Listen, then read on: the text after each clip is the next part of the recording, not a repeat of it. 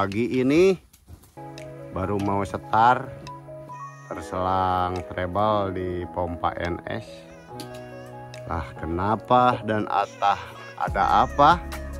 Ih asnya udah menjadi kutil. Kita las dulu pakai alat sederhana dengan alat apa adanya. Nih, di gunung di hutan bisa memperbaiki as dengan cara apa adanya seadanya dengan otodidak ini welding yang bersertifikat. Tahu ini si rajanya welding nih nih nih nih orangnya nih nih nih nih nih, nih. ya bersertifikat jangan salah nih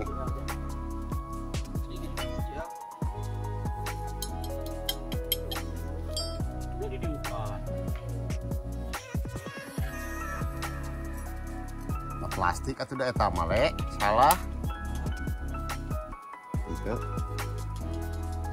ini orangnya nih yang bersertifikat. Masih pakai saru pakai kacamata ya? Welder bersertifikat juga. Kirain tadi bolohot kita dibolotot dibolotot